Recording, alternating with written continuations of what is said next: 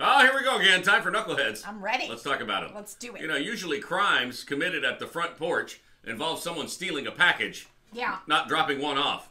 Oh. A Clearwater homeowner was curious to know what type of large animal had defecated on top of a table at their front porch. So they reviewed their home security footage and were horrified to discover the animal was actually their next door neighbor.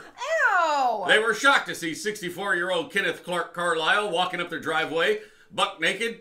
He's then seen squatting on top of the glass table.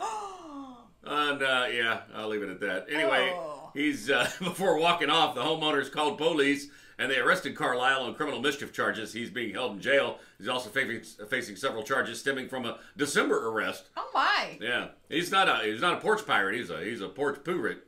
He's a he's a poop Gross. poop well poop pirate doesn't sound right. No, he's a porch poo pirate. Trying to make a punchline out of something there. Yeah, I yeah, see. just That- it's like a number two. Just let that one go. Oh yeah, he did, didn't he? A former Derby, Connecticut official is due in court on charges that he stole funds from a fraternal organization and used them to pay for porn. Oh, 69 year old Ronald Culmo worked as both the Derby's fire commissioner and as public works director. Authorities say he'd siphoned off more than $150,000 wow. to watch internet pornography and play the slot machines at Mohegan Sun Casino.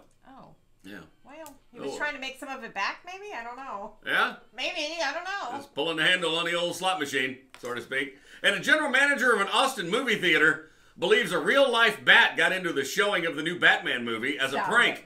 They believes it was a prank. The film had to be paused when the staff realized there's a real life bat flying around the theater. Management paused the movie and made multiple attempts to get the bat out, but those attempts were ultimately unsuccessful. They had to call animal control. The theater offered to give refunds, but a majority of the crowd opted to stay and watch the film, oh. bat and all. No, thank you. To ensure a prank like this doesn't occur again, they're going to be adding additional security and checking all bags upon guest entry, the manager said.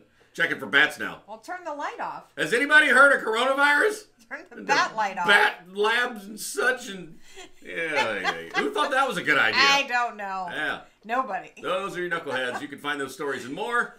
Uh, just look on social media for Mel and Scott in the morning. Yeah, That's right. And there we are. Hello, good morning.